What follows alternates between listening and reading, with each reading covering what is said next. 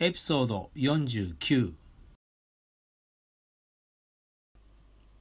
例文174 of a wildlife conservation body は a legal advisor を修飾しています。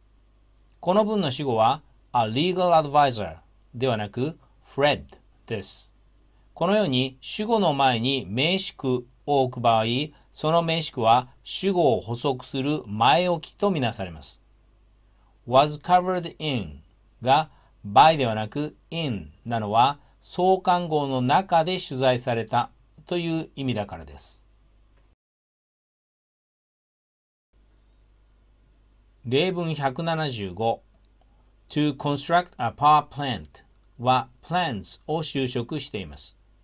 To help address 以下の to 不定詞は何々するためにという福祉用法の目的の意味で動詞 construct を修飾しています。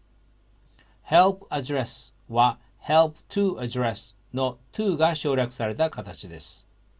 help 動詞の原型は help to 動詞の原型よりもよく用いられ、TOEIC でもよく出題されます。例文176 to assess は to 不定詞の副詞用法で何々するためにという目的の意味です。by 以下の前置詞句は形容詞句として名詞 findings を修飾しています。例文177この文の主語は Fred です。despite は前置詞で despite criticism は前置きの副詞句です。confident that 説で that 以下のことに自信があるという意味になります。この confident のように確信を表す形容詞は that 説が取れます。